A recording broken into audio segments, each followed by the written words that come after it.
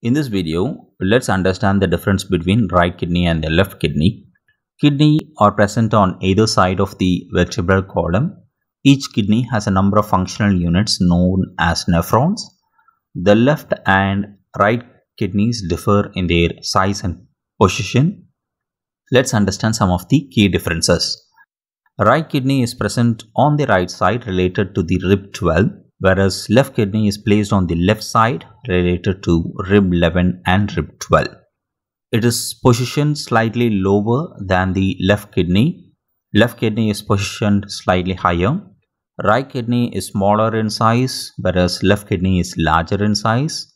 Blood is served by right renal artery to the right kidney whereas for the left kidney blood is served by the left renal artery.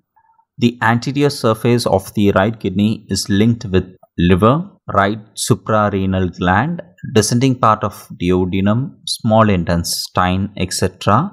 The posterior surface is associated with rib 12 diaphragm, etc. Whereas the left kidney is slightly longer than the right kidney, which is around 1.5 centimeter. Its anterior surface is linked with the stomach, left suprarenal gland, spleen, pancreas, jejunum, whereas the posterior part is associated with rib 11 and 12 diaphragm etc.